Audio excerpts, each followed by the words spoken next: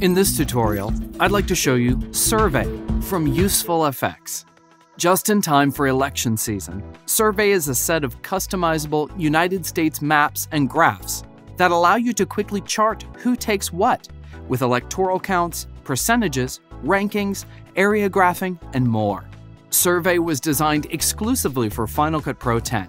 You can find it in the Effects, Generators, and Titles browsers under Useful FX Survey. Let's take a look at the electoral generator.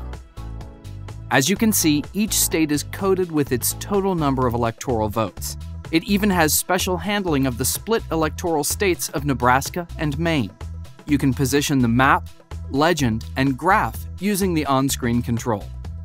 In the parameters, you can easily customize the colors of all elements. Using the drop-down, you can choose to use the state abbreviation, full name, or none.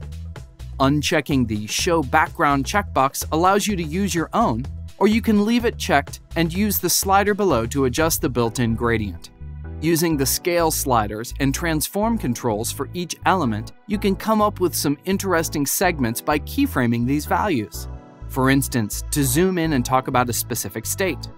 Here, you can color each state according to its left or right vote, with an included value for pending and values in between if states are leaning a certain way.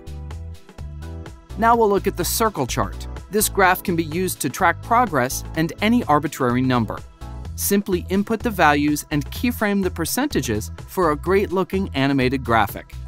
Using the USA mask effect, you can mask in or outside of the map on any clip or graphic and choose to exclude or call out any state using the opacity sliders. Survey from Useful FX is a great set of easy to use effects that will take your election coverage to the next level. FxFactory offers a huge selection of great effects, and if you don't have them yet, I suggest you go try them out at fxfactory.com.